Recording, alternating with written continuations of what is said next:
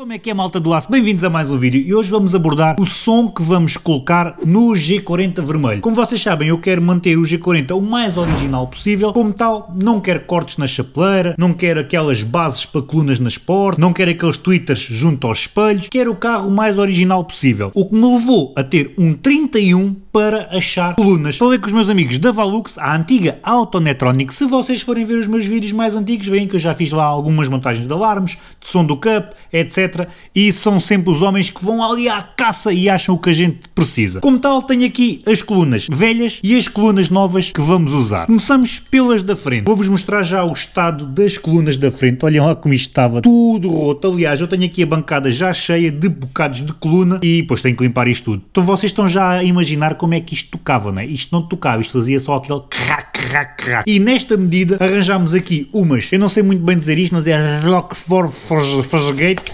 arranjamos aqui esta medida. Como vocês veem, é uma coluna muito pequenina, é uma coluna de 4 e esta é a gama Punch P132 com 20 watts RMS, 40 watts de pique. Como vocês veem, a qualidade é top e já vai tocar qualquer coisa e é de marca, uma marca boa. Está disponível na Valux por 89 euros.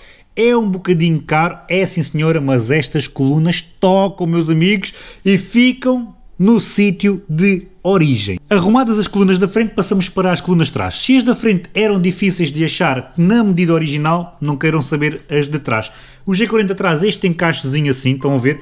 E a coluna é oval e encaixa aqui, ok? E esta coluna já não é nada fácil de arranjar, que é 10 por 15. Mas os homens da Valux arranjaram aqui esta marca. Eu olhei para a marca e disse, pá, Autotec, eu, eu não conheço isso, mas eu também sou um gananabo, eu não conheço muito de som.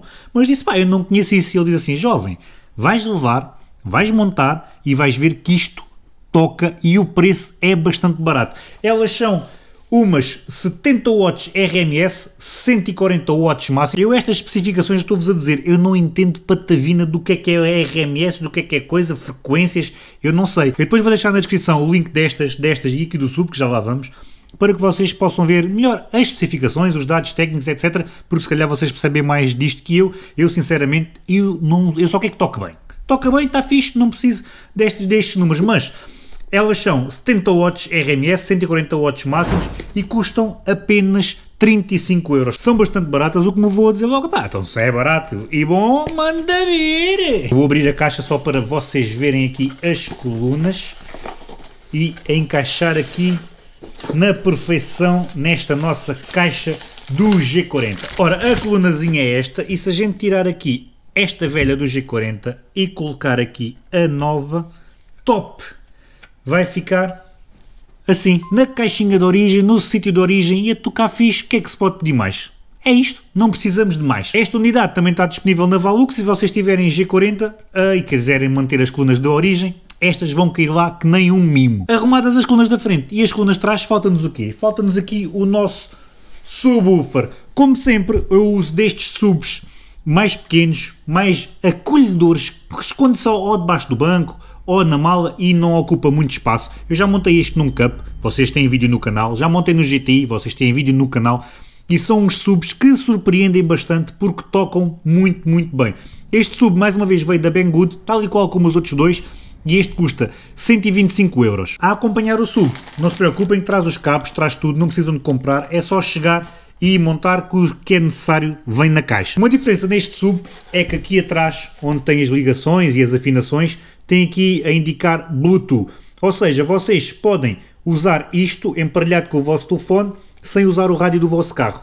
Ligam o Bluetooth, põem a dar o som, YouTube ou o que é que seja, e o sub toca com a ligação Bluetooth ao vosso telefone sem passar pelo rádio, mas a gente quer é ligar ao rádio. Ele tem uma potência máxima de 600 watts, epá, o que é mais que suficiente. Digo-vos uma coisa, o meu GTI, se vocês um dia tiverem dúvidas nestes, nestes subs e me encontrarem ou com o meu G40 quando eu montar isto, ou com o meu GTI, o Cup já não porque já o vendi, vocês podem perguntar, mostra lá isso a tocar e vocês próprios vão ficar surpreendidos com, epá, isto não vais abanar a mala, né? não vamos para os concursos de SPL que havia no tuning, mas para ter um sonzinho ali de qualidade, de uma batidazinha, sem ocupar espaço, isto é muito, muito, mas mesmo muito fixe.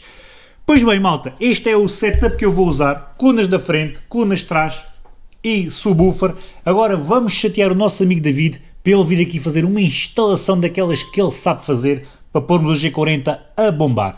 Lembrando, eu vou deixar o link disto tudo na descrição para vocês verem mais características, colunas da Valux, subwoofer da Banggood, 89 euros, 35 euros e 125 euros. Temos aqui um pack porreiro, sem estragar nada, montado nos sítios de origem e com o carro a manter a sua originalidade. Pá, só não tem estas colunas de 1991, né? Mas pronto, ficam lá no sítio.